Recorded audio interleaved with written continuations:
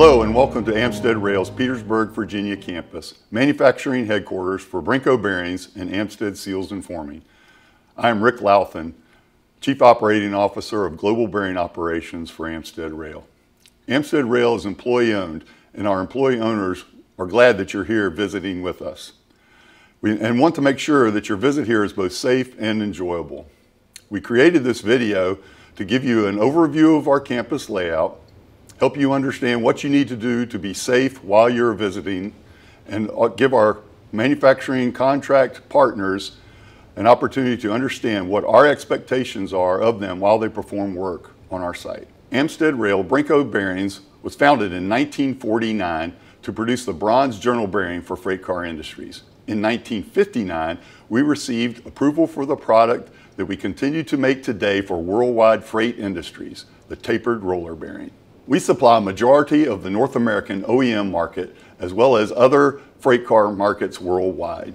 Millions of our bearings are in use today, providing dependable and reliable service in one of the world's most demanding environments. Brenco's reputation for quality, reliability, and dependability are standards for all the products we manufacture.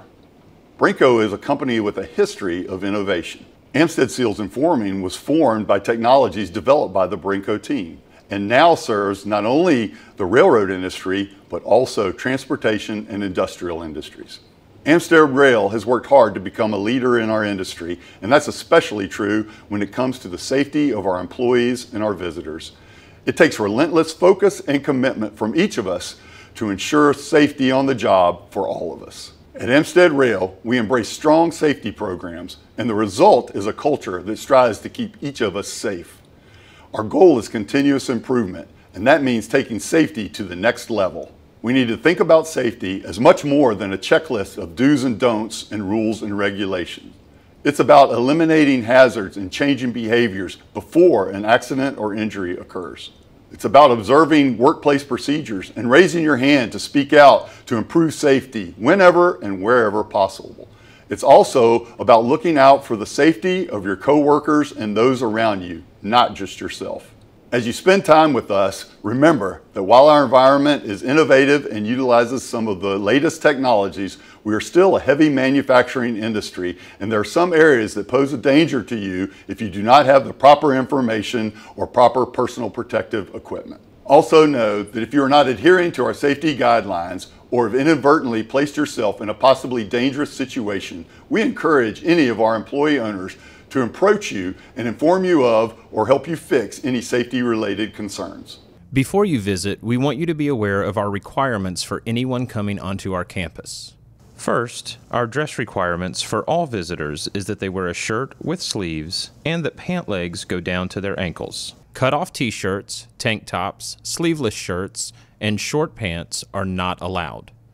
We also do not allow the taking of photos on our campus without prior permission granted by a Amsted Rail senior leader. At Amsted Rail, we respect and value all people whether they are one of our employee owners or a visitor. With that in mind, we want you to know that we will not tolerate harassment or offensive behavior of any kind in our workplace. If harassing behavior is witnessed, we will intervene and ask the offensive person to leave our campus immediately. We will also hold our visitors to our requirements for a drug and alcohol free workplace. If any visitor or contractor is involved in the use of an alcoholic beverage and or illegal drug while on our property, they will be escorted off the premises and will not be allowed to return. We also reserve the right to require drug and alcohol testing of individuals suspected of drug and alcohol use, or those that are involved in an incident resulting in an injury and or property damage on our campus. This testing must be completed within 24 hours of an incident, and the results of the testing must be reported to Amsted Rail prior to returning to our campus. Now that all the not so fun stuff is taken care of, there is some other information around entering, exiting, and moving about our campus that you need to know. As you enter our campus for the first time, you are required to check in with the security guard in the Human Resources Building. The security guard will issue you a PIN number. This PIN number will give you access to the campus. Keep this number with you at all times, as it is the only way you can get in or out of the facility. To enter or exit through one of the turnstiles, type your PIN number into the keypad before entering and exiting. It is required that you enter your PIN number as you enter and exit the campus, as this is how we keep track of who is on site. We do this because in the event of an emergency, we want to make sure that everyone is accounted for. If you enter our campus with a vehicle, you need to be aware of a few guidelines for moving about. First, pedestrians and powered industrial vehicles always have the right of way. Please yield to them and only proceed around industrial vehicles if you have been waved around and the conditions are safe to do so. We also have a 15 mile per hour speed limit posted throughout the campus. Please adhere to the speed limit and any other traffic signs. Finally, park your vehicle only in designated parking spaces and not on the grass. We need the grass to feed the geese, which, by the way, we allow visitors to take up to five geese home with them as a special gift to remember your visit by. Once you are on campus, be mindful of your surroundings and listen for any announcements you might hear on the overhead paging system or any alarms that could warn you of danger or the need for evacuation. If a specific event or alarm does require an evacuation, everyone should exit the plant or building that they are in and assemble at one of the muster points at each building as noted in this map of our campus. As we talked earlier, our goal here at Amsted Rail is for everyone to stay safe. To help achieve this goal of keeping everyone safe, all visitors may be required to wear personal protective equipment, or PPE, in the production areas or when they are completing tasks that require the use of PPE. The common PPE required in our production areas is ANSI approved safety glasses, hearing protection, and steel or composite safety shoes. As a visitor, you may also be required to wear a safety vest to help us identify you as you move about the campus and to make you more visible to our industrial vehicles. While we are on the subject of industrial vehicles, you should understand the vehicles we use and a few things you should look out for. The primary industrial vehicle that is used on our campus is the forklift. These vehicles are great for moving heavy loads, but not so great for the visibility of the operator to people moving around them. Always assume that the lift driver cannot see you if you are approaching a lift. The best way to stay safe is to make sure that you have made eye contact with the lift operator before moving into a space that the lift is being operated in. To assist in the visibility of an approaching lift, we have installed blue lights that proceed and follow the lift in a beam that is 20 to 30 feet in front of or behind the lift.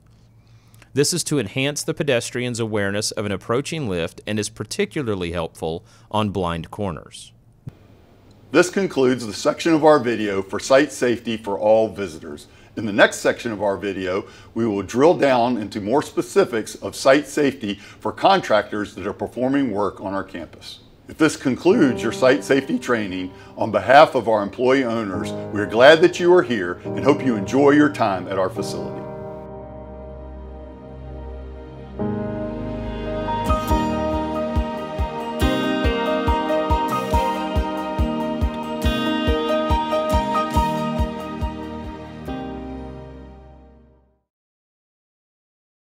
Welcome to the contractor portion of our site safety training. As a contractor for Amsted Rail, you are an integral partner in our operations, and we want to thank you for your commitment to our business by contributing your specialized talents and skills. Our employee owners interact daily with you, and we want to ensure that everyone understands the expectations that we all have to work together safe and effectively. One of the key ways to keep the most people safe is to limit our exposure to hazards by requesting that everyone stay in their assigned work areas. This means that as a contractor, you should limit your activity on our site to the area or system that you have been requested to work on and not wander throughout the campus. As we mentioned in the first section of this video, personal protective equipment, or PPE, is required in most areas of our operations. As a contractor, you may determine or be advised to wear additional PPE depending on the task that you are completing. It is up to the contractor to determine the safest method for completing a task and wearing the PPE appropriate to complete the work that they are undertaking, as safe as possible. The safety of our employee owners must also be taken into consideration, and if any additional PPE would be required for anyone in a space being worked on by a contractor. If additional PPE becomes necessary for others in the space where you are working, the facilities manager should be notified so that proper steps can be taken to either eliminate the hazard or to mitigate the risk with a modification of PPE for those in the area. As we look at areas of contractor safety, one of the most common issues that contractors need to protect themselves and others from are hazards that can lead to slips, trips, and falls. Proper fall protection needs to be put in place for the contractor and for others that may be traveling through an area of work.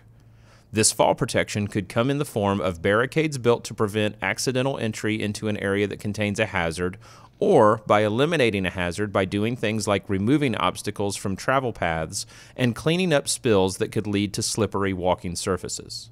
An area where contractors often work that has the potential for falls are elevated surfaces. Fall protection equipment is required at Amsted Rail when working more than four feet above the ground or within six feet of an unprotected edge.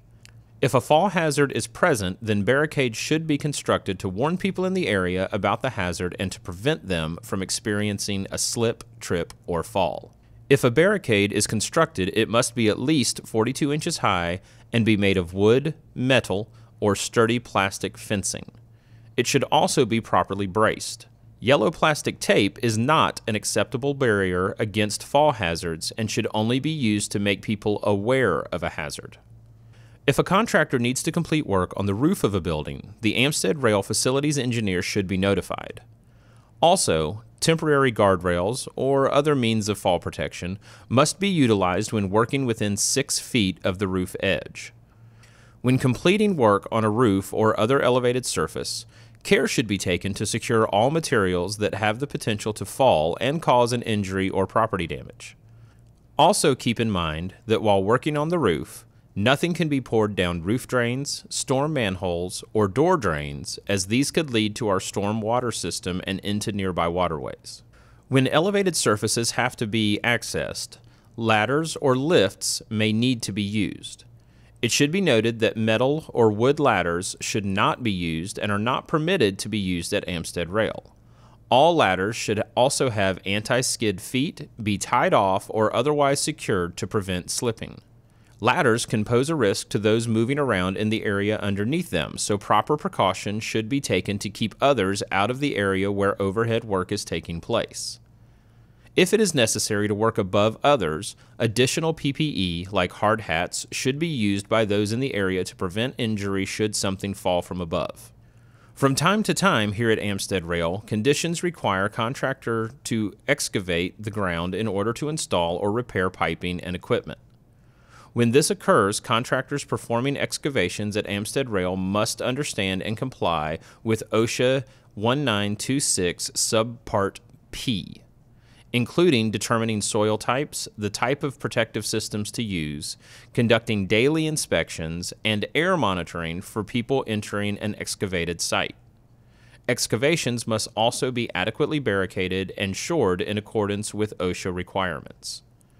During excavation, activities the contractor is responsible for shoring, sloping, benching, or providing some other means of protecting their employees in compliance with Subpart P. If it is determined that an excavation is needed on Amsted Rail property, contact the facilities engineer for information on underground utilities and obstructions before beginning any excavations. Also, once an excavation has begun, the facilities engineer should be notified if any unusual material or unknown utilities are encountered while performing an excavation. It should be noted that any digging, saw cutting of concrete, core drilling, and any type of ground penetration are considered excavations at Amsted Rail. Similar to excavations, confined spaces may be encountered during your work at Amsted Rail. We have both permit required and non permit required confined spaces on our campus. In the event that we arrange for an outside contractor to perform any work that involves permit required confined, the contractor must provide written permit required confined space program meeting the requirements of the OSHA standard. If a contractor is required to enter a permit required confined space at Amsted Rail, it will be the responsibility of the contractor to comply with the OSHA confined space requirements and to do the following. Obtain any available information regarding the permit required space hazards and entry operations. Coordinate entry operations with both the Amsted Rail personnel and the contractor's personnel that will be working in or near permit spaces. Provide Amsted Rail with documentation about the permit required confined space program that the contractor will follow. Submit a copy of the confined space permit at the completion of the job to the Amsted Rail safety engineer. Have made arrangements for a viable confined space rescue if it becomes necessary. Have a qualified attendant assigned to monitor the entrance. A completed confined space entry permit posted at the space. Another area that holds very serious consequences if proper procedures are not followed is energy isolation, or you may be more familiar with the term lockout tagout. Lockout tagout is defined in OSHA as standard 1910.147. In meeting the OSHA standard for lockout tagout, contractors are responsible for furnishing their employees with all of the required materials to achieve a zero energy state on equipment that they will be working in or around. In some instances, Amsted Rail may provide a maintenance employee to act as a resource for the contractor to use because of unfamiliarity with the facility or equipment. However, the responsibility for lockout tagout lies with the contractor. Once a plan for locking and tagging out an energy source has been made, the lockout tagout operations must be approved by the safety engineer or a qualified maintenance representative that can verify the equipment is in a zero energy state. Fire prevention is one of the most important and most impactful topics we want to cover. Our goal at Amsted Rail is to prevent all fires from occurring in the first place and to protect the lives and property of everyone, including those visiting our campus. This is why it is important to follow all fire prevention processes and procedures that are in place. One of our key mechanisms to prevent fires is to issue a hot work permit if your work requires you to weld, cut or grind metal, or have an open flame like a torch for cutting or brazing. The hot work permit can be issued by the site maintenance team. If you need to perform hot work, we require that you remove all flammable and combustible material within 35 feet of the area where the hot work is taking place and have a fire extinguisher on hand.